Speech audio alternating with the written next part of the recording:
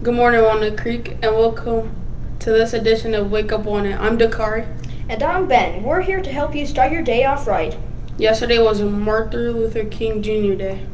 On the third Monday in January, Martin Luther King Jr. Day honors the American clergyman, activist, and civil rights movement leader Dr. Martin Luther King Jr., January 15, 1929 to April 4, 1969 is best known for his role in advancing civil rights using nonviolent civil disobedience.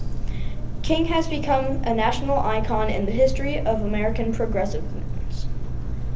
A friendly student, King attended Morehouse College, earning a BA in sociology, combining a passion for racial equality with their rediscovered spiritually. King then attended Crozer Theologically Seminary, following in his father's and grandfather's footsteps, earning a Bachelor's of Divinity.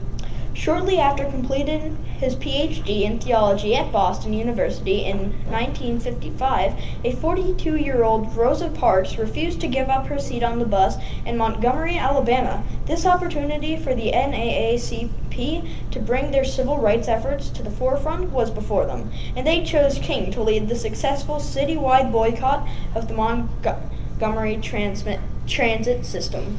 Let's stand for the pledge.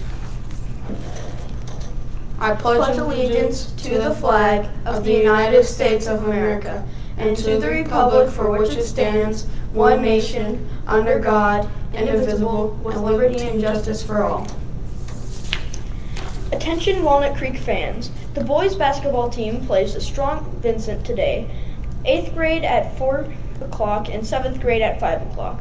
Please come out and support the team. Any incoming ninth grade football players who want to play football next year and live that we will be that will be meeting next Wednesday, January 18th at McDowell Weight Room at 4 p.m. That that is for us. That's it for us, Walnut Creek. Have a great day.